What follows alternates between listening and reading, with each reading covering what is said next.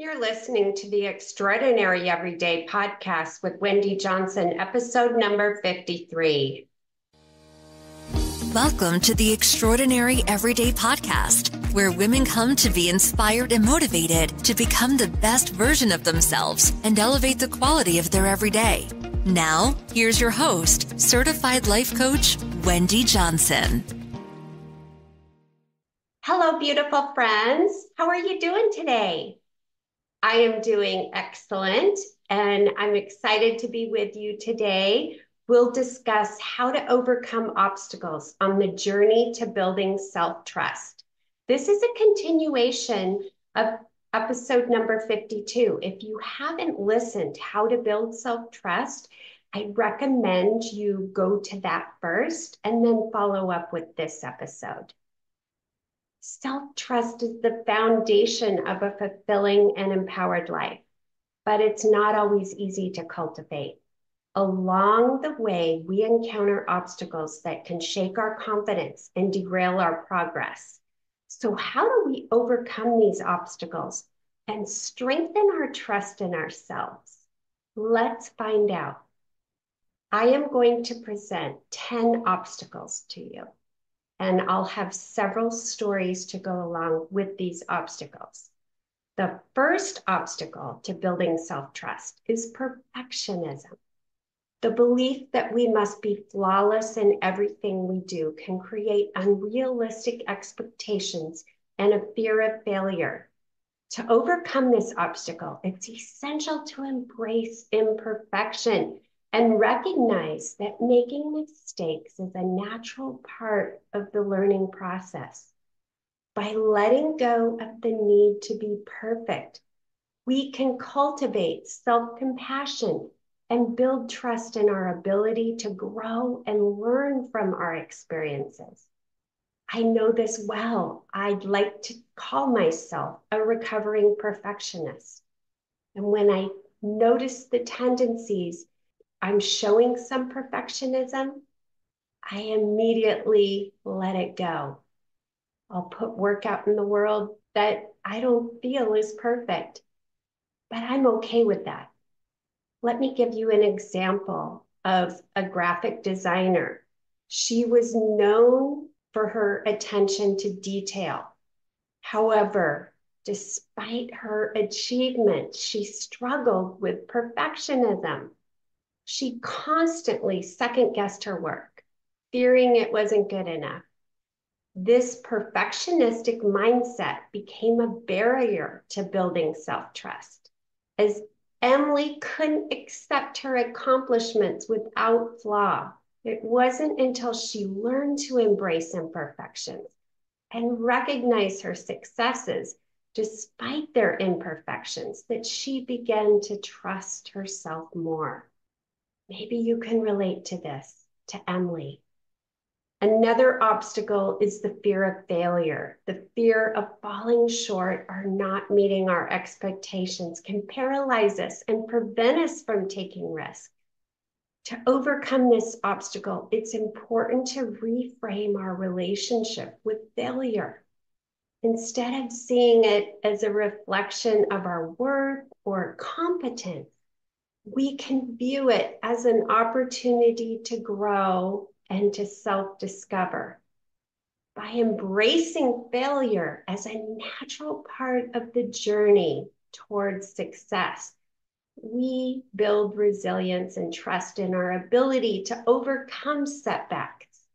We're not avoiding failure, we're moving to it and through it and getting to the other side back when I first started teaching coaching, I was teaching males and females. And I had spoke with and worked with for a short time a client named Jack.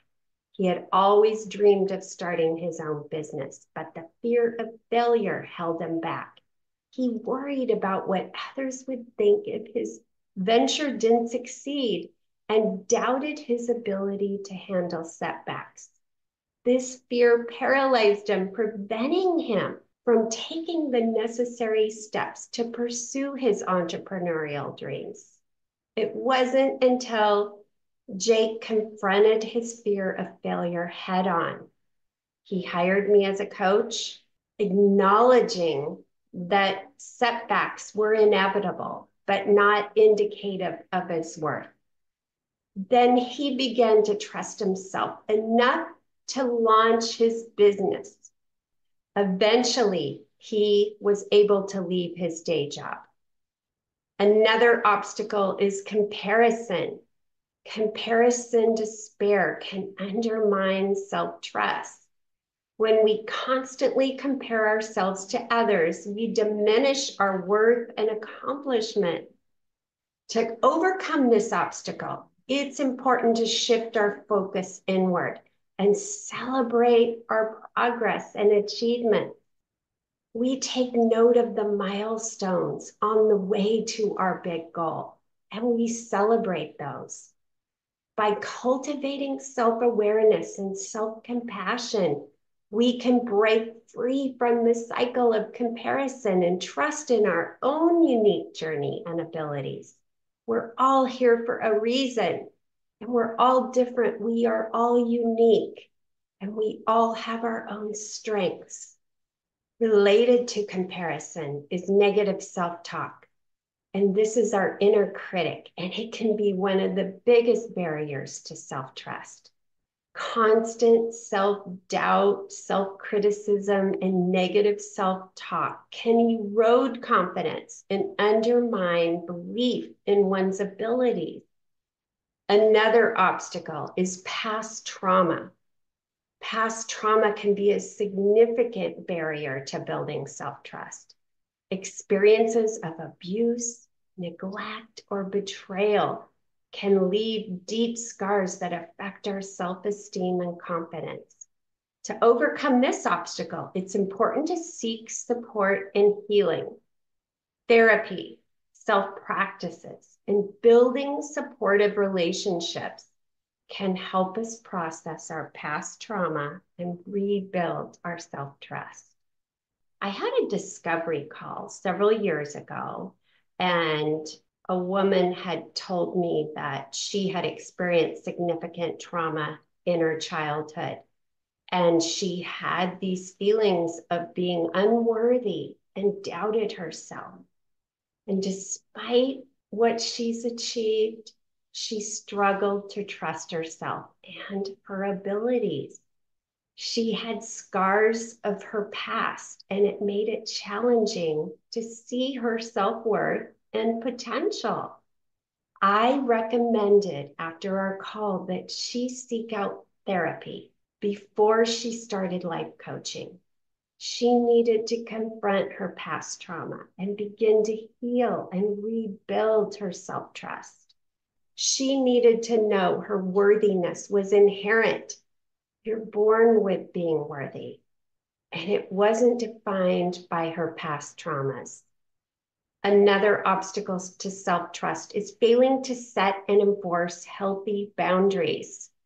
This is related to the way you're treated, overcommitting, saying yes to everything, people pleasing, and allowing others to dictate one's choices can lead to feelings of powerlessness and a loss of confidence in one's ability to prioritize self care and well being. This is when you're putting others before yourself. You're neglecting your health and your mental well being to support other people before yourself. Another obstacle is imposter syndrome.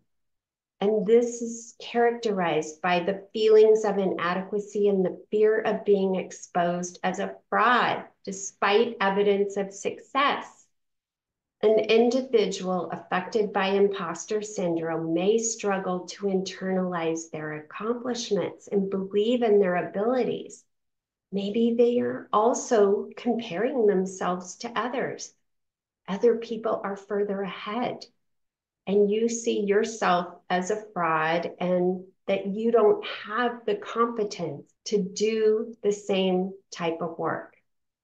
Another obstacle is to resist change. Fear of the unknown and resistance to change can impede self trust.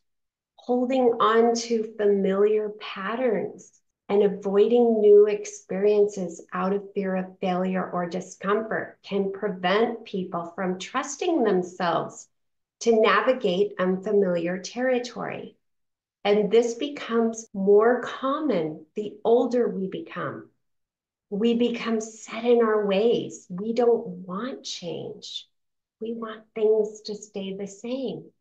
So we're constantly fighting against what is and the world is always evolving and we're evolving, and we must change or we're going to have feelings of being stuck. A lack of self compassion can hinder the development of self trust. Being overly critical or judgmental towards oneself prevents people from nurturing a supportive inner dialogue and can lead to feelings of unworthiness. You want to have a nurturing, supportive inner dialogue so that you're not negatively affecting your self worth. And the last obstacle is unhealthy relationships.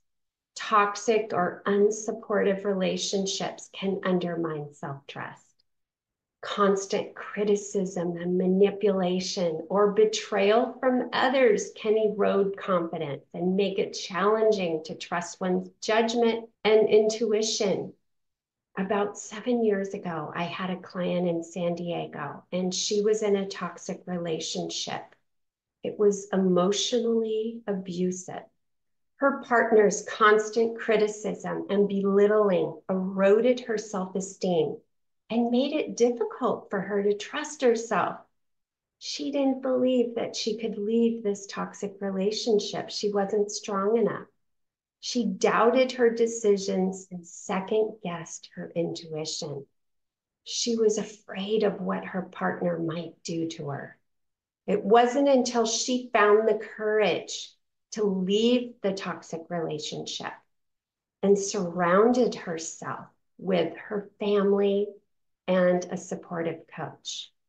She did a 12 week dream builder and began to dream and visualize her future and what that would look like for her. She reclaimed her autonomy and confidence in her judgment, and she learned to trust herself.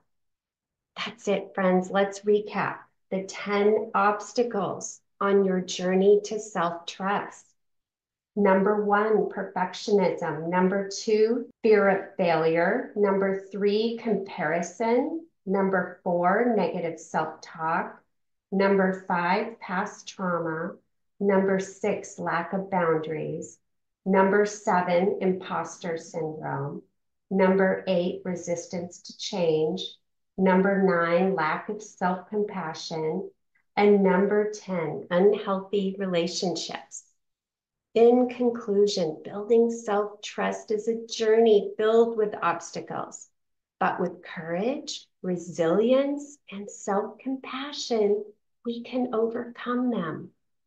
By embracing imperfection, reframing our relationship with failure, shifting our focus inward, and healing from our past wounds we can cultivate unshakable self trust and live a life of empowerment and authenticity.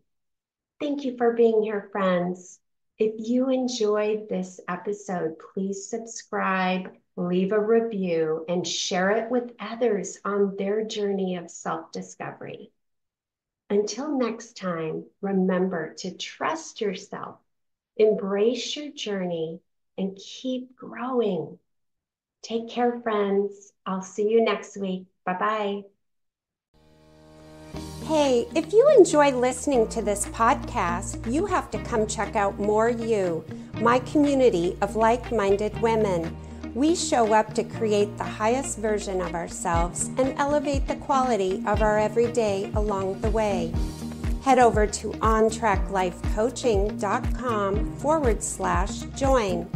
That's O-N-T-R-A-C lifecoaching.com forward slash join. I'd love to see you in there. And if you haven't grabbed your copy of the Mindset Makeover, Head over to ontraclifecoaching.com forward slash makeover and get a copy that teaches and inspires you to show up as your most extraordinary self.